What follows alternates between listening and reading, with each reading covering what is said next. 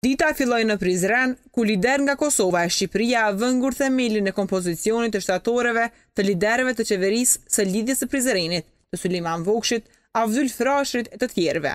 Lidhja Shqiptare e Prizrenit qëndron edhe sot në përpjekjet e mëdha të mbarë shqiptarëve për të zgjeruar hapësirat e tyre të lirisë, demokracisë dhe integrimit europian dhe euroatlantik. Kështu u tha në Akademinë Solemne në rastin e njëqind e katërdhjetë vjetorit të Lidhjes Shqiptare të Prizrenit, me ç'rast u përmend se Lidhja nuk është relikt historik, por është sot një vepër e gjallë për të gjithë dhe për të gjithë kohërat. Mytaher Haskuka, si i zoti i shtëpisë në Prizren, bëri të ditur se Lidhja për kombin dhe puna për të vazhdon.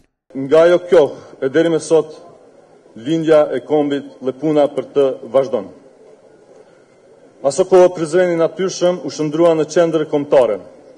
E për Kuvendin e Shqiptarëve u tha se ushqej aspiratat për liri. Rezistenca dhe sakrificat e jashtëzakonshme që ajo ndërmori do të mbeteshin të gjalla përjetë dhe do të ushqenin përgjithmonë aspiratën e pashuar Të Kombit Shqiptar për Liri e Pavarësi. Kryetari i Kuvendit të Kosovës, Kadri Veseli, tha se pa lidhjen e Prizrenit, nuk do të kishim njëzet e tetë nëntor të vitit një mijë e nëntëqind e dymbëdhjetë dhe as Lëvizjen Kombëtare për Çlirimin e Kosovës. Kulminacionin historik, ai tha se ajo arriti me UÇK-në, çlirimin dhe shpalljen e pavarësisë, më shtatëmbëdhjetë shkurt të vitit dy mijë e tetë. Pa lidhjen e Prizrenit nuk do të ishte njëzet e tetë nëntori i vitit një mijë e nëntëqind e dymbëdhjetë. Pa lidhjen shqiptare të Prizrenit nuk do ta kishim as Lëvizjen Kombëtare për Çlirimin e Kosovës e cila arriti kulminacionin e vet me luftën e Ushtrisë Çlirimtare të Kosovës dhe me shpalljen e pavarësisë së vendit tonë në shkurtin e vitit dy mijë e tetë.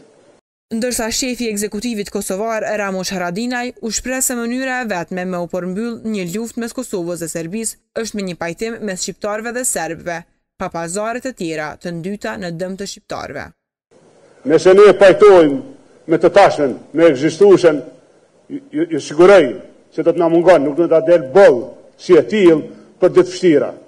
Nga Maqedonia u tha se bashkimi do të arrihet në gjirin e Evropës së Bashkuar.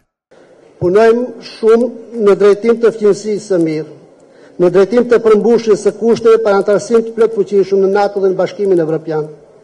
Ndërsa përfaqësues i familjes Jashari tha se shqiptarët brez pas brezi punuan dhe luftuan për liri. Brez mas brezi shqiptarët kanë mendu edhe kanë punu edhe kanë liftu për qitë ditë cilin e kemi na sot. Tu i falenderu edhe ushtrinë shlirimtare të Kosovës. Ai shtoi se siç i bashkoi sot Prizreni, shpreson që dhe në të ardhmen t'i bashkojë.